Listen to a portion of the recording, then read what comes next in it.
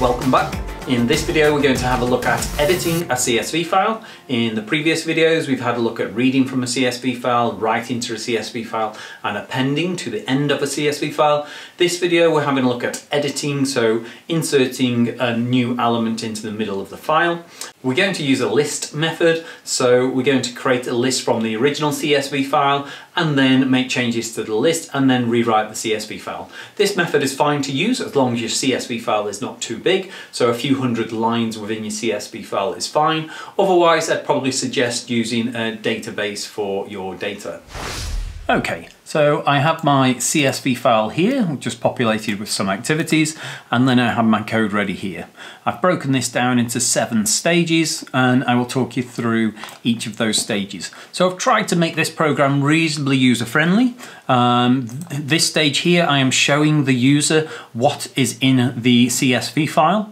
If they were to open the CSV file, then they might as well edit it in the CSV file. So the idea of this is we show the user what's in the CSV file, ask them what they want to change within that, and then we make the changes. And this method should be fine as long as the CSV file is not too big. Um, I'm talking hundreds of rows of details, um, then this method should be fine. Okay, so starting off, we import the CSV, that's straightforward. I then create an empty list um, ready to be populated. And then with open, I open the activities v4 file, which is my spreadsheet file over here. And remember to put the CSV extension and also that the file should be saved in the same file location of your Python file. Otherwise, you'll need to pass in, the file path beforehand. I'm using the R method for read to read the file, and then I'm just storing this as file, file being a variable. I'm then creating a new variable, my file, and just making that equal the file that we have just opened. I'm then saying for row in my file, my list append row. So what that will do, it will append each row from the CSV file in a two-dimensional array, a two-dimensional list. Um, just to show how that works, I've put a print statement here, which I will delete that after. And if I comment that out and F5 to run, Okay, so I can see that this is a two-dimensional array with all of these details being in position zero of the array, all of these details being in position one of the array. And for example, the word grass here is in position two of position one in that two-dimensional array. And I can see that at the moment there is four uh, items in that um, and each of those has another four uh, entities. Okay, so I can delete this. And next I'm going to show the uh, details to the user. So a nice print statement, please see details of the CSV file below. And then for i in range of the length of my list. Now my list is four long, so in the i will be zero, one, two, and 3.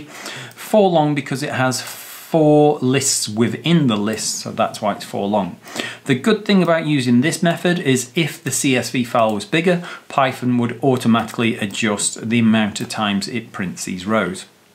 I've then just got um, trying to make this print statement neat. So print row, this will print zero because on the first loop uh, I will be zero. Um, and the reason I'm keeping it zero is it will print this row at the start and I want that to be row zero um, and then I'm printing from the list position zero, which again is all of these details. So that's showing the user um, the list. I'm then saying uh, to edit row. If I just run this program, we can see how it works as we're going along. Um, so this here is the outcome of uh, this line. So the row um, is here, so I'm telling the user which row it is, and then I'm showing the details from that CSV file.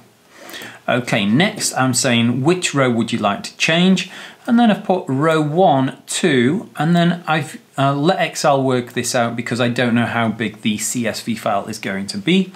So here I've put the string, and I have to put the string because I can't join, concatenate a list with a string. So I've done the string of the length of my list, and then I've done that minus one. Remembering that my list is in this case four, However, um, when I print the rows, because I start from zero, I only get to three.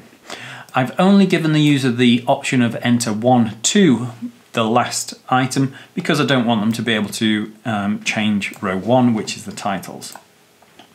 Okay, and then I put please enter the new details of the row. So for example, my program running, let's say I want to change swimming, which is row two, so I can select two here. And then please enter the new details of each of the following. So here, another loop. So for i in range of the length of my list position zero. Now, if we remember my list position zero, these details were in uh, position zero, um, so it's looking at um, only this first position.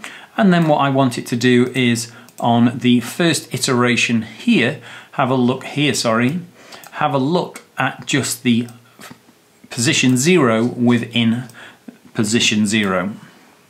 So created a new variable, um, enter the new data for, and then this is what is printing just that ID.